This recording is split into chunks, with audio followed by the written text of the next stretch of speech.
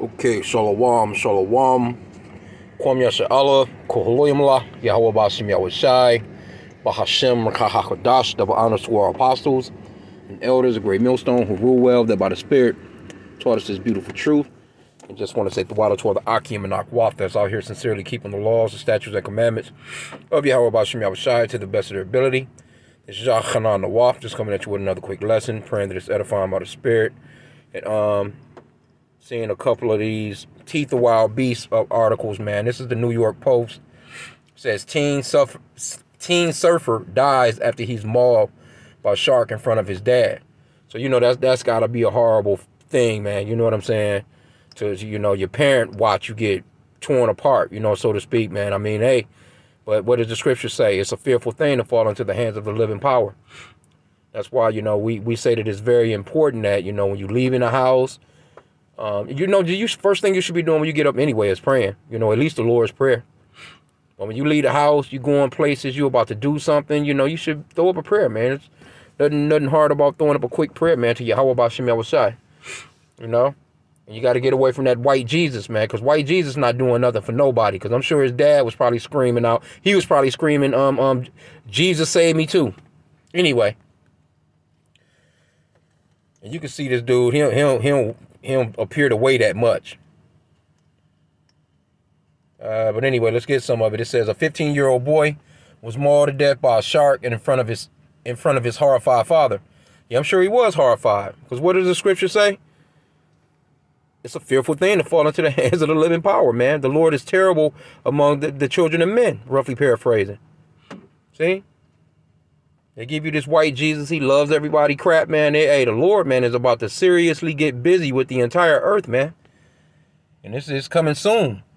Okay, it says Khai call Khai Cowley, who has seen, who has since been described by loved ones as a talented surfer, was pulled from the water near Ethel Beach. Okay, um, after his leg had been bitten off by what was believed to be a great white shark. All right, now. You had your damn leg bit off, man. Like, you know them sharks is big, man. Yep, matter of fact, it says this shark was 13 feet long. That's a big ass um, animal, man. Then it started to head back out to sea. So he just chomped off the guy's leg, man, and just got him a little snack and rolled on about his business, man. Says I was in waist deep water and just made the decision to run back chest deep at this point, grabbed him and managed to drag him back to shore, back to the people on the beach. He lucky he didn't get it too. I was just, it was just a matter of I didn't want to see his body out at out to sea. So I did what I could. Yeah, man, that's that's some that's got to be horrifying for uh, a dad. Ethel Beach is popular, yet remote tour spot. It's located off Yorke Peninsula in southern Australia you know, um, see, this is that fatness of the earth, man. You know, this is how we can pretty much. This is about the spirit of Esau. They got that fatness of the earth. They're always somewhere off some damn water, the beaches. You know, they got the high rises. You know, they just out here just living in the best places. You see what I'm saying? Anyway, the boy had been on vacation with his family before he was attacked by the sea predator. Loved ones have flooded social media and tributes to the team after his death, a boy with so much potential, he will hold a place in everyone's heart. Family, friends wrote on social media. Of course, you go always get that there, okay? Locals have since spoken out about the dangers of wildlife in the area, with one local fisherman saying that sharks are a common sight among along uh, Marion Bay. And they probably got signs out there and everything, man. Esau don't care. You got signs out, damn sharks out here, man. I'm sure they got signs. They had to, they gotta have signs. You know? So at that point, what you're doing is, you know, you're you're you're testing Yahweh Bashem Yahushai. You know, what did Yahweh tell um Satan in the wilderness? Hey, hey, you hey, tempt not the Lord thy God, roughly paraphrasing. Now you you know, you wanna you wanna be on point. Now what the fuck is you doing out there? But see, that's that's Esau. Again, this is a trait of Esau. They're the ones jumping from damn planes bungee jumping and shit, diving off into the, the deepest ocean they can possibly. They climbing mountains, and that's why the scripture talks about um um him being a cunning hunter. and Jacob was a plain man. See, Jacob just we just chill. Now, don't get me wrong. You, you do have some so-called black people. They'll go surfing if they live in some of those areas, you know, where it, you know they have sunny, you know, sunny weather and beaches and things of that nature. But me personally, I've never seen on TV like you know that looks fun. I would like to go surfing. I've never, I've never thought of that. That I can never, I, I can't remember ever thinking to myself like, you know what, that seems like that's fun. I want to go somewhere and surf. Nah, man. Okay, he says, um, we've seen some pretty big bronzies in the sea in the area. But that's normal here. That's why I'm saying that they had to have some signs around somewhere if it's normal. He told the local publication, I went to take the boat out, and the road to Ethel's was blocked by, by rangers. There's no cell phone reception out there in the, in, in the park, so we didn't know what had happened until we got back to the, the bay. Okay. Just two weeks before his tragic death, Crawley, who who boasted a 146 ranking under 18 surfers in the country, was named most outstanding groom performer by his local sea Seaview Roadboard Riders Surf Club, groom or groomette, in terms for young surfers under the age of 18. Surfing South Australia paid tribute to the boy on the on on Thursday. Yeah, he out of here though. We are devastated to learn that a young, talented, and dearly loved member of our surfing community was was the surfer involved in the attack. Okay. Our utmost deepest sympathies are with the family. Okay, it's the same stuff with that. But anyway, you know what though? Because like I said, it's you know, it's more of these stories, man. Snorkeler accidentally catches moment, shark bites off his leg on video. Teen surfer mauled to death, okay, in front of his dad. That's the same one. Man films aftermath of shark attack that claimed his leg. That might be the same thing. American woman in Australia posts terrifying videos of getting stalked by hissing birds. yeah, hey, the animals is, is not liking um, Esau, man.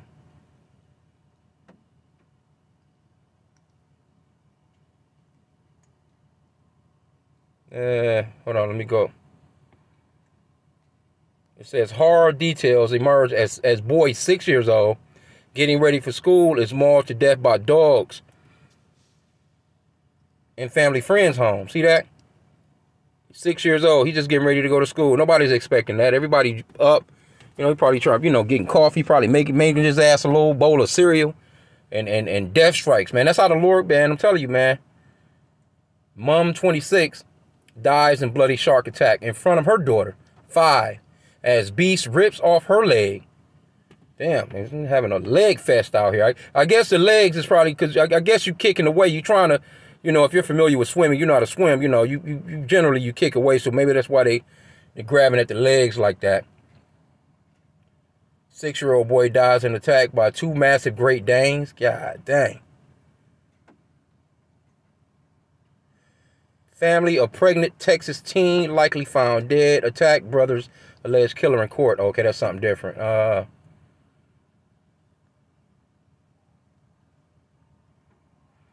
police dog bites teen suspect leaves flesh hanging.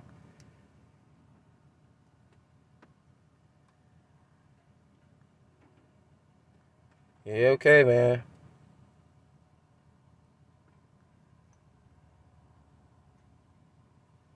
I seen a story the other day with a model know, I guess dog jumped up and bit her in her damn face and bit her damn lips off, so she couldn't model no more. But anyway, let's go into the scriptures, man.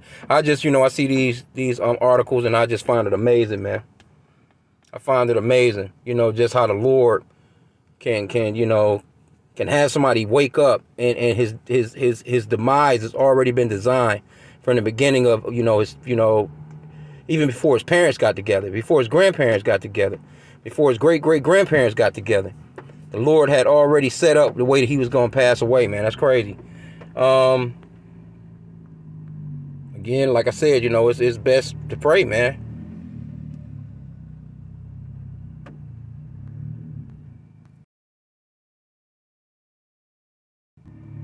Deuteronomy 32 and 39. See now that I, even I, am He. And there is no God with me. I kill and I make alive. I wound and I heal. Neither is there any that can deliver out of my hand. So it wouldn't have been nothing his dad could have done. It wouldn't have been nothing they could have done to change the vacation trip or any of that stuff, man. It would have it would have happened anyway. You see? Because the Lord, he matter of fact, let's get that um that Proverbs chapter 20 and verse 24. And it goes off into um man's goings uh, of the Lord. It reads, Man's goings of the Lord. How can a man then understand his own way?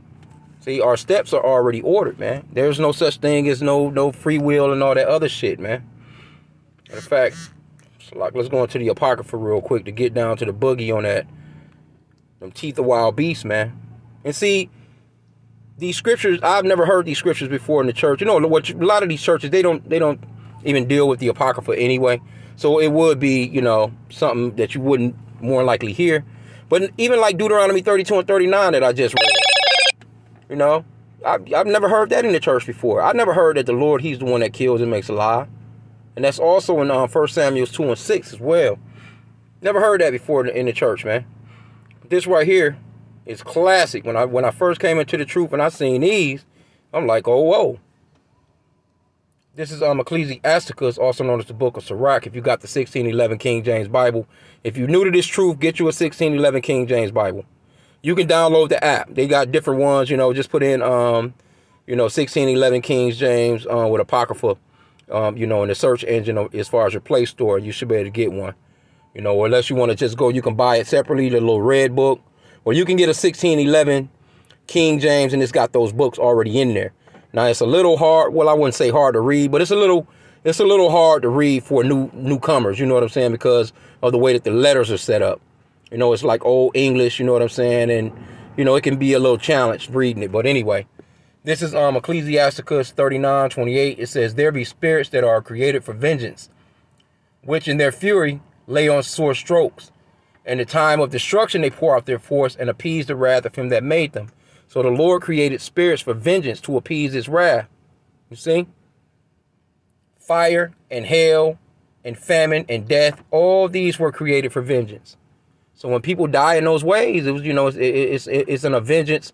The Lord is, is getting vengeance on that person. And you can say, well, what did this 15 year old do? And you don't know. He could, hey, you know, a lot of the times, you know, um, when it, um, you know, the scripture talks about honoring thy mother and thy father. I, I kind of think of that scripture too as well when it comes to younger, you know, teens, you know, especially getting a, a brutal death like that. You know, could have stormed out of the house talking all kinds of shit to their mom or their dad, or, you know, you have to be very careful of those types of things too, you know, because cause the Lord can set you right on up. And a lot of the times too, you know, and that comes with those parents. They be all they worship these damn kids. They don't they don't check them. They don't put them in check about nothing. They just running about the earth and just you know, just just you know just don't know what's gonna become. They don't have no damn direction whatsoever. Just wake up every day, just eat and just you know do what they feel like they want to do. But it says teeth of wild beast. That's the one right there. Teeth of wild beast and scorpions, serpents, and the sword, punishing the wicked to destruction. See that? Teeth of wild beast, man. They shall rejoice in his commandment, and they shall be ready upon earth when need is and when their time has come, they shall not transgress his word. So these spirits, they can't go back on their assignment. The Lord give them the assignment. They can't be like, well, Lord, he's 15 years old. He's looking promising. He got a, you know, he's pretty talented with the with the surfboard. You know, he can he, he splashed waves. You know, and he's you know he's a you know, he has so much potential. They don't they don't do that, man. They they they rejo- it says they rejoice in his commandment. And then you got uh let me see here, uh that one? In First Kings. Uh that might be Salakia. First Kings 22. I'll start at verse 19. Now this is a situation where the king, um, his name is Ahab, how the Lord set him up. So we know that the Lord, he's the one that's in control of the setup. He's in control of who lives and who dies. We just read that in Deuteronomy 32 and 39. It says, uh, verse 19, and he said, Hear thou therefore the word of the Lord. I saw the Lord sitting on his throne, and all the hosts of heaven standing by him on his right hand and on his left. And the Lord said, and that's another thing too. The Lord created everything in twos. He created the wicked, he created good, he created righteous, he created unrighteous. You know, up, down, wet, dry. You know, the Lord, he created everything in twos. It's a complete balance with the Lord. So he, you know, he created life, he created death. You know, he created male, he created female, positive, negative, you name it. Sky, ground, anything.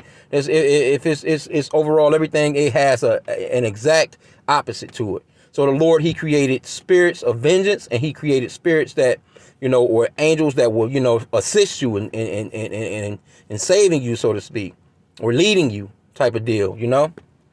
Okay, but um, so as you can see, it says that the angels they were on His right hand and on His left.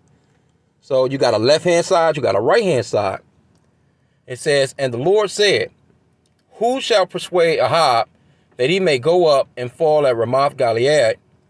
And one said on this manner, and another said on that manner. So he's having a council with these angels on the right hand side and the angels on the left hand side. And there came forth a spirit. Remember, the spirits of vengeance. And there came forth a spirit and stood before the Lord and said, I will persuade him. And the Lord said, and the Lord said unto him, Wherewith? So the Lord, like, how you gonna do it? And he said, I will go forth, and I will be a lying spirit in the mouth of all his prophets. And he said, Thou shalt persuade him and and prevail also. Go forth and do so. So the Lord is, is you know, and you, as you read on through the story, of course, he got the business. You know, he got deleted, but the Lord set it up, man. Clearly set it up. And again, you know what I'm saying? Let's get that one uh, in the Apocrypha where it talks about the Lord created everything in tools. Because, like, you know, when you hear these scriptures, you know, because I never heard them when I was in, you know, Christian church. So these scriptures are very important because they're, they're, they're simple, but they're, they're deep. This is um, Ecclesiasticus 33, also in the Apocrypha. I'm going to start at verse 13. It says, As the clay is in the potter's hand to fashion it at his pleasure, so man is in the hand of him that made him, to render to them as liketh them best. So the Lord created everything just the way he wanted it. Good is set against evil, and life against death. So is the godly against the sinner, and the sinner against the godly. So look upon all the works of the Most High, and there are two and two, one against another. So the Lord created everything, He created one against another. So He created life, He created death. He gave that young man life, and then He gave him his death. You know, it's simple. And you can get on, uh, let's see, let's get Isaiah Now, I just find stories like that fascinating. Like, you know, like none of us know what our lot is. None of us know how we're, we're going to go out. But, you know, hey, man, we're praying for mercy from Yahweh Bashim Yahweh Shai. Because it is a fearful thing to fall. I can't imagine that. I can't imagine that. But, you know, I pray that the Lord would not even let me be stupid enough to place myself in that particular type of situation. That's silly. not going out surfing, man. I, I don't see no use in all that there. You know, Isaiah 45 and 7. I form the light and create darkness. I make peace and create evil. I, the Lord, do all these things. See? So the Lord is the one. He created that situation for that for that guy, man. You got another one, um, Amos. I like this one too. Like I said again, you know, and these are regular in the 66 books. These pastors, man, don't bring out these scriptures, man. Amos 3 and 6. Shall a trumpet be blown in the city, and the people not be afraid? Shall there be evil in a city and the Lord have not done it? See that? And can you imagine the chatter? Can you imagine the talk in the town? Can you imagine everybody crowding around and talking about that shit? They didn't drag me back up on the beach in horror. You know, people was horrified to see his damn leg gone. He obviously bled out. Hey, that's hey, the Lord is terrifying, man. I'm telling you, man. So, hey, when when when all I can say is, man, just hey, repent and have a healthy fear of Yahweh Bashim Yahweh Shai, man. And those are the true names of the Father and Son. We're to keep hitting them over the head with that, man. The true name of the Father is Yahweh, which means that he exists or the existing one. And the true name of his Son, our Lord and Savior that's coming, he will be a so-called black man if he walked the earth today. His name is Yahweh Shai, which means he's the Savior or deliverer in Paleo Hebrew. We're not praying to some white guy. You know, we're not praying to some blonde haired, blue eyed white guy, man. His name is, our Lord's name is not Jesus, man. The letter J wasn't even invented when he walked the earth. There was even there, there wasn't even no English language then. There's no letter J, no letter E, O, U, or V in the Hebrew alphabet. And the letter J was invented in 1524. So we know they wasn't calling the Lord Jesus when he walked the earth, man. That's that's you can look into the history of that.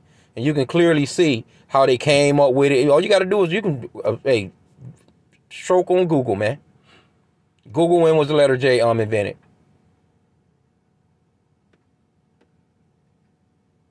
It's our time to awake out of sleep, man, and and and and, and get right for real, for real, man. Because the Lord is about to this right here, that that's small work. A nigga losing his leg, that's small work to the Lord. That ain't nothing to the Lord, man. It's about to be people that's about to be fucking uh Sarah Connor out here, man. Straight sizzled to add to nothing but dusty ashes, man. So just wanted to touch on this for a hot sec. I pray that the lesson was edifying. Kwame Shalom.